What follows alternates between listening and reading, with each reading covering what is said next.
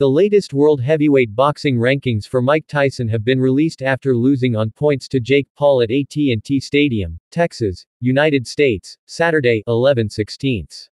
Here are Tyson's latest boxing rankings. Based on the latest BoxRec rankings, the boxer nicknamed the Concrete Neck is now ranked 309th in the world, 183 places below Jake Paul who is ranked 126th in the world. In fact, the former world heavyweight champion is only three places ahead of Terrell Jamal Woods, a 35-year-old boxer who has only won one of his last 15 fights. This defeat occurred in Tyson's comeback fight after being absent for almost two decades. The 58-year-old boxer's last duel was previously recorded in 2005 when he lost to Kevin McBride.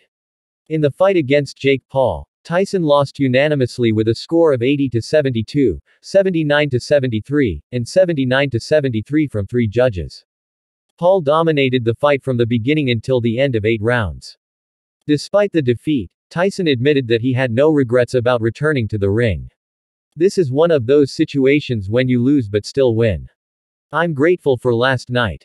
No regrets about returning to the ring for the last time, Tyson wrote on social media, as reported by the Irish Mirror. Tyson also revealed his health condition before the match. He admitted that he almost died last June and had to undergo eight blood transfusions.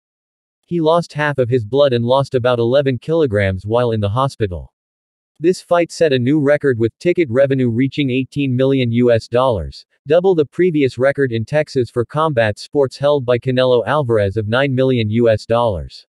The Mike Tyson vs. Jake Paul duel also attracted great attention on the Netflix streaming platform with more than 60 million people watching the match. The large number of viewers even caused the streaming service to experience disruptions several times during the broadcast.